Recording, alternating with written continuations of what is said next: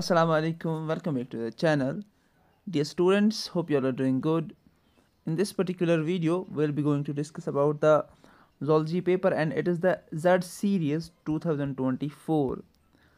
पिछले वीडियो में हमने बॉटनी का रिव्यू किया था and we discuss that as well ठीक है तो अगर आपने वो वाला वीडियो नहीं देखा वो भी जाके चेकआउट करना एंड इस वीडियो में हम जोलॉजी का जो जो क्वेश्चन आए थे उनको डिस्कस करेंगे। सो डियर स्टूडेंट्स सबसे पहले टाइम पीरियड जो था that is one and half hour and maximum marks thirty five थे। जैसे मैंने आपको पेपर पे टर्म बोला था वैसे ही आपका जो पहला सेक्शन है इसमें आपके ऑब्जेक्टिव्स आए थे। सो so, पहला क्वेश्चन क्या था? इसमें Malpighian Malpighian tubules act as excretory organs in options we have echinodermata annelida arthropoda and hemichordata ठीक है? तो आपकी, जो आपका जो चैप्टर था, वहाँ पर आपने कॉकरोच के बारे में पढ़ा होगा। कॉकरोच के जो एक्सक्रीटरी ऑर्गन है, उसके बारे में पढ़ा होगा। एंड कॉकरोच किसमें आता है? वो आर्थोपोड्स में आता है, ठीक है? So that means arthropoda is the correct answer now we have question number second vasopressin a key hormone is synthesized bye ठीक है? तो ये पिचुट्री स्क्रीट करता है कौन सा पिचुट्री पोस्टीरियर पिचुट्री या एंटीरियर पिचुट्री जैसे we have neurohypophysis and adenohypophysis हमारे पास ऑप्शन क्या है? न्यूरोहाइपोफाइस हाइपोथैलेमस बिल्कुल ही नहीं adenohypophysis and the pineal gland बिल्कुल ही नहीं है। आपको इन दोनों में से चूज़ करना है। अगर हम करेंगे बात न्यूरोहाइपोफाइसिस की, ये दो हार्मोन स्क्रीट करता है या सिंथेसाइज करता है। एक तो ऑक्सीटोसिन एंड vasopressin ठीक है so this is your correct option then we have question number three mitochondrial DNA is देखो प्रोकोरेटिक डीएनए और माइटोकॉन्ड्रियल डीएनए ऑलमोस्ट सेम होता है तो ये है circular double stranded so this is your correct option now which of the following are not substituted by pyrimidines ये आपको थोड़ा ट्रिकी वाला क्वेश्चन था यहाँ पर आपको ये ध्यान में रखना है adenine and guanine are substituted purines ठीक है? So that is the correct option here another which of the following species of frog are commonly found in India? We have uh, ये वाला आसान था। सिंपल है राना टिकराना इसका करेक्ट ऑप्शन है ठीक है?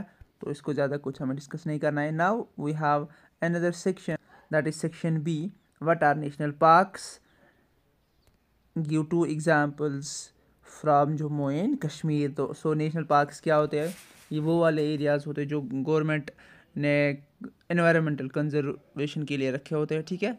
सो एग्जांपल्स वायर जैसे ईजी है दाशिकम नेशनल पार्क या Hemis national park then we have what is silo पिछले वीडियो में जो मैंने मॉडल पेपर आपको बताया था, वहाँ पर मैंने ये वाला डिस्कस किया था, ये वाला आप चेकआउट करना।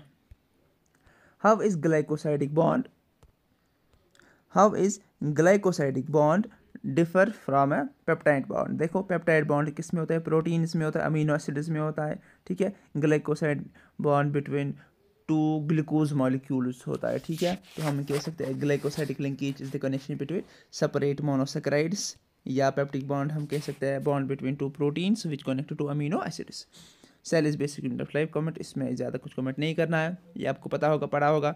Name two events they occur in the diplotene stage of the prophase first देखो अगर आप लोगों ने सेल uh, साइकिल पढ़ा होगा उसका क्वेश्चन है तो वहाँ पर क्या क्या होता है? एक तो साइनेप्सिस के बाद डी साइनेप्सिस होती है ठीक है? साइनेप्टोनिमल कॉम्प्लेक्स का आ, वो ख़त्म होता है। एंड एक्स शेपड करे स्ट्रक्चर एक बनता है जिसे हम क्याजमेटा फॉर्मेशन कहते हैं।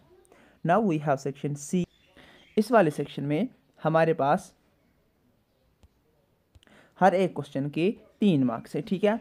सो so, पहला क्वेश्चन क्या है? All vertebrates are chordates but all chordates are not vertebrates justify the statement with example so आपको ये पता होना चाहिए कि जो भी कॉर्डेट्स होते हैं, उनके पास क्या होता है? उनके पास नोटो कार्ड होता है। उनके पास नोटो कार्ड होता है। एंड कॉर्डेट्स में हमारे पास urochordates cephalochordates and the vertebrates आते हैं। लेकिन वर्टरबेट्स में हमारे पास नोटो कार्ड के बदले वर्टरबल कॉलम होता है। और ये जो वर्टेबल कॉलम है वर्टेबल कॉलम हमारे किसी भी प्रोटोकॉडेटा में नहीं होता दैट मीन्स कि ऑल वर्टरबेट्स आर कॉडेट्स ठीक है? हर एक वर्टरबेट में क्या आ, हम कह सकते हैं ऑल वर्टरबेट्स आर कॉडेट्स बल but all chordates are not vertebrates because हर एक जो कॉडेट है उसके पास वर्टेबल कॉलम नहीं है। लेकिन जितने भी वर्ट जितने भी कॉडेट्स हैं हर एक के पास नोट रिकॉर्ड होता है, ठीक है? Now another question question number twelve what are nucleic acids nucleic acids किसमें होते? डीएनए में होते आरएनए में होते, और write down it significancy easy है। Now we have question number thirteen meiosis first is often considered a complete cell division what is necessary necessity of occurrence of meiosis second in the cell cycle ठीक है, देखो meiosis first में हमारे पास क्या होता है? Meiosis first में हमारे पास it is the reductional division तो अगर हमारे पास, अब देखो मियोसिस फ़र्स्ट इस, इसको हम इक्वेशनल डिवीज़न भी कहते हैं। अगर हमारे पास कोई डिप्लाइड ऑर्गेनिज्म होगा तो हम उसे हेप्लॉइड बना सकते हैं by the help of meiosis first then इसको हम फिर डिवाइड कर सकते हैं इक्वेशनल डिवीज़न की मदद से. And this equational division is meiosis second ठीक है? समझ में आई आपको बात? That's why this is important write a b brief account on the counter current mechanism ठीक है? ये किडनी का मैकेनिज्म है to consider the urine easy है. What is meant by double circulation write its significance double circulation में आपको क्या लिखना है? एक तो पल्मोनरी सर्कुलेशन लिखना है, दूसरा सिस्टमिक सर्कुलेशन लिखना है। ईजी है. Then we have section D and this section every question have five marks आपको दो क्वेश्चन दिए गए हैं एंड आपको इसमें आर पार्ट भी है। वट आर सिकल्टल मसल्स ये आपको लिखना था। Give detailed account on the mechanism of the muscle contraction आपको डायग्राम अगर आप बनाओगे इसकी तो आपको अच्छे से मार्क्स आएँगे। नाउ डिफाइन न्यूरॉन ठीक है? ब्रेन में क्वेश्चन आया है। Describe the process generation and conduction of the nerve impulse in the man ठीक है? रिफ्लेक्स एक्शन और रिफ्लेक्स आर के बारे में आप लिख सकते हो इसमें।